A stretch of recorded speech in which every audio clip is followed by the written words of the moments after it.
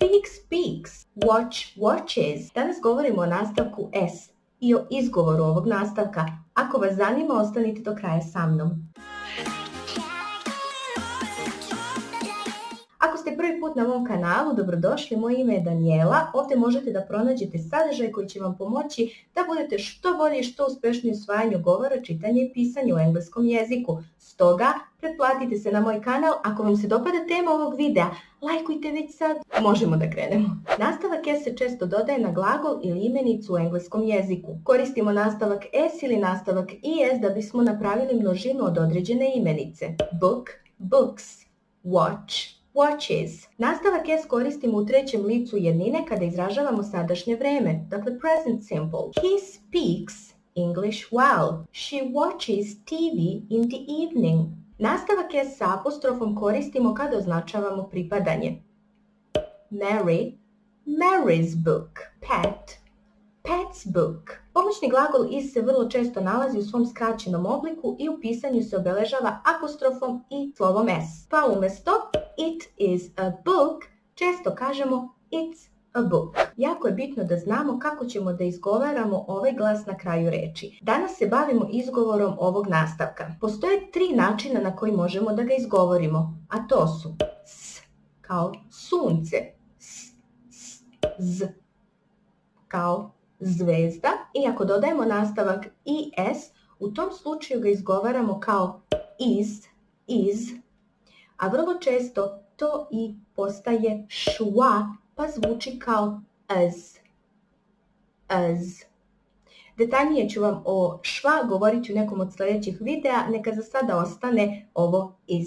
Ako vam ne budu jasne oznake u zagradama, onda pogledajte neki od prethodnih videa koje sam pravila vezanih za izgovor glasova u engleskom jeziku. Izgovor zavisi od glasa koji prethodi ovom nastavku. Ako mu prethodi bezvučni glas, onda se izgovara kao s. A što je bezvučni glas? Bezvučni glas je onaj glas koji izgovaramo, a da nam pritom glasne žice ne trepere. Takvi glasovi su p, t, k, f, th. Na primjer, stop, stops, look, looks, make, makes, sleep, sleeps, laugh, laughs. Izgovara se kao z posle zvučnih glasova. Zvučni glasovi su oni glasovi gdje nam glasne žice trepere kod njihovog izgovora. To jest, ovdje ćete osjetiti vibraciju. B, D, G, V, Z, M, N, N. I o ovom glasu ću detaljnije govoriti u nekom od narednih videa.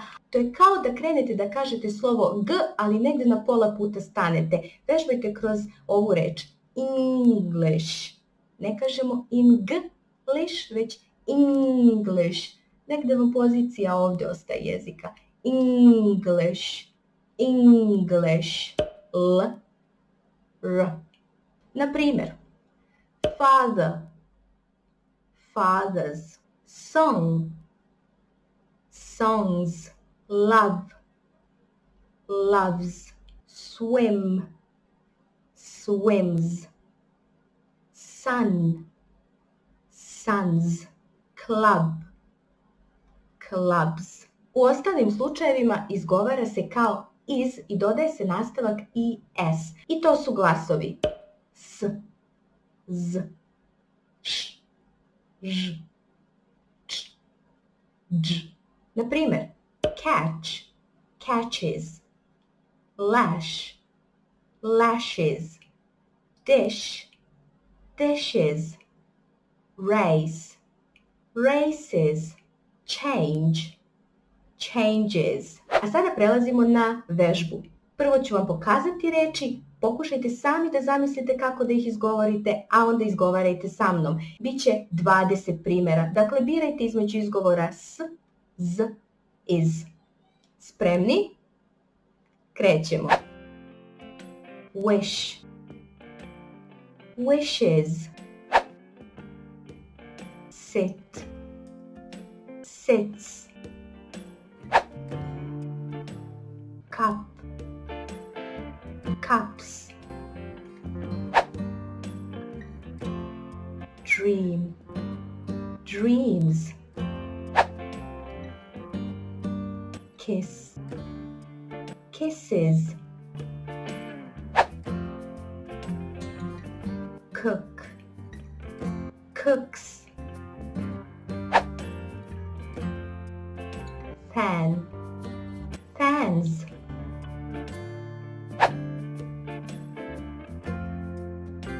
teach, teaches.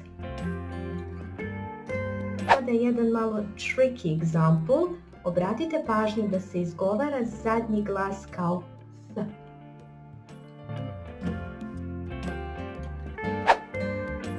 Month, month.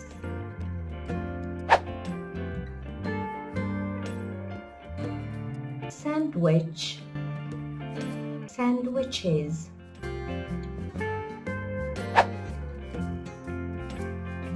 Student, students.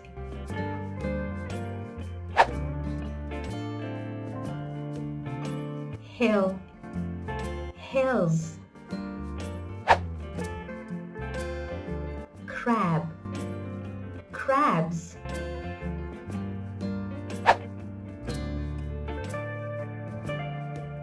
Box.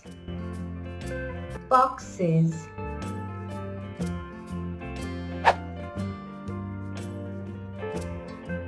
Dress. Dresses. Sea seas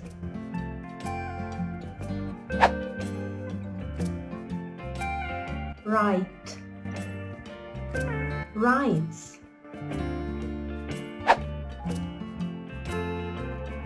age. Ages. Help helps drive.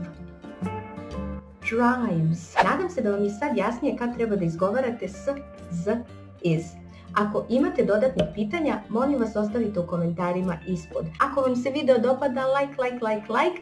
Razmislite da se pretplatite na moj kanal. Svake srede i subote očekujte jedan novi video vezan za učenje engleskog jezika.